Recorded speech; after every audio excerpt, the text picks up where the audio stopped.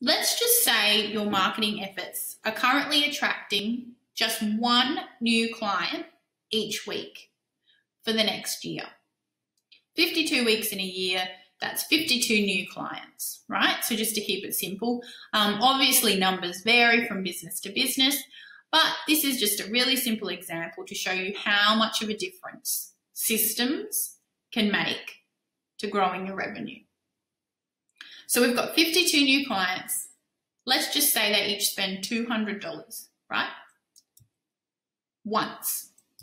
They spend $200 with your business once. So they've booked a once off clean. You've added $10,000 for so $10,400, sorry, to your revenue for the year.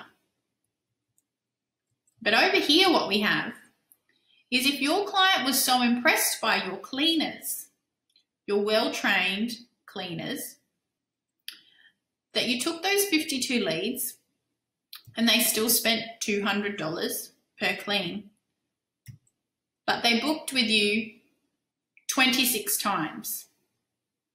So you've kept them coming back once a fortnight for a year. Here's your revenue. See the difference? It's huge. So you can tweak these numbers. Your leads, you might bring in 500 a year. But still, if you keep those leads coming back 26 times a year instead of once a year, you can see the difference. Or even if you just kept them coming back once a month, there's the difference. Or even every second month.